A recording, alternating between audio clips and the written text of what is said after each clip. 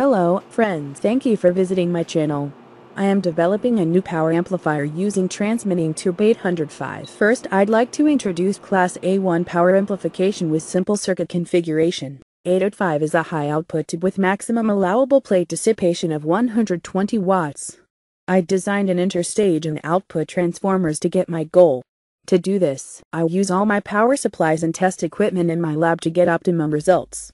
I will measure the maximum output power, total harmonic distortion, and frequency response.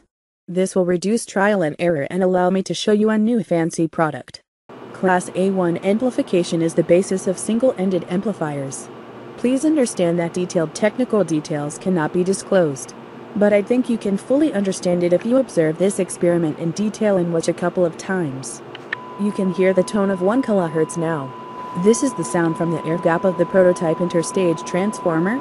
A signal is amplified by 6 DJ8 input stage tube, then it is applied to 6L6 driver grid. 6L6 amplifies the signal enough to transfer it to grid of 805 via the interstage transformer. As you can see, filament and high voltage is not applied to output power to 805. Let me apply filament voltage to 805. It's rated 10 volt 3 amperes, so power consumption is 3 times higher than EL34. Bias voltage should be positive, unlike normal vacuum tubes. I want you to find out about this and check the technical specifications yourself.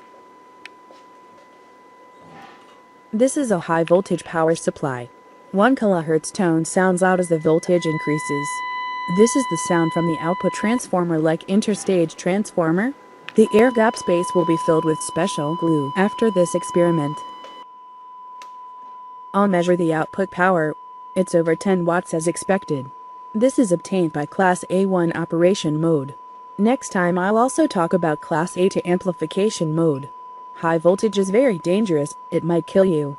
So this experiment was accomplished with a very low voltage supply to 805. Total harmonic distortion is ideal for high-end amplifiers. Frequency response is plus 1 decibel at 20 kHz, minus 3 decibel at 30 Hz. Finally, this amplifier Model F2 is able to debut on the market successfully.